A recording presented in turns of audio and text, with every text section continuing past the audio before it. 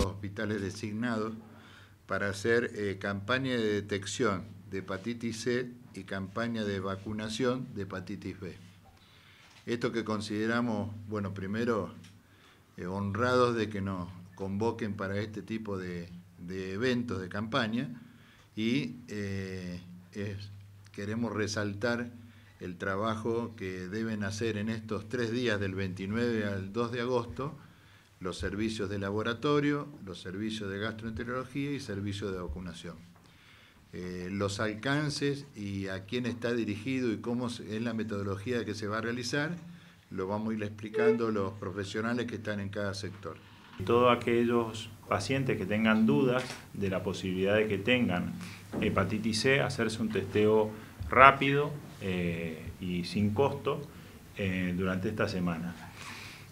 además, eh, la hepatitis B se sabe que es una enfermedad que hay tratamiento pero no cura, por lo cual tiene la oportunidad también todo personal que tenga algún factor de riesgo para contraerla y está abierto a la población general por una política nacional de vacunación que se llama universal, que quiere decir eso, para todo el mundo.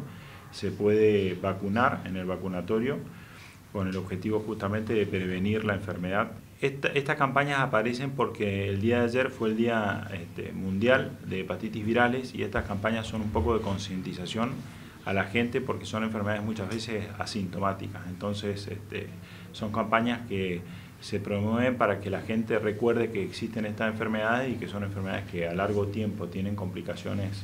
graves y son eh, momentos útiles para detectar. Y los factores de riesgo dependen del tipo de hepatitis. en el caso de la hepatitis C, eh, los factores de riesgo son eh, todas las personas que tienen contacto en forma, se le llama parenteral, que es con algún suero, un acceso endovenoso o algún contacto con la sangre, algo que traspase este, la mucosa o la piel.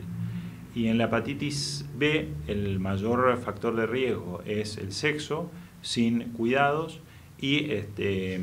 también la transmisión vertical de la madre al, al hijo.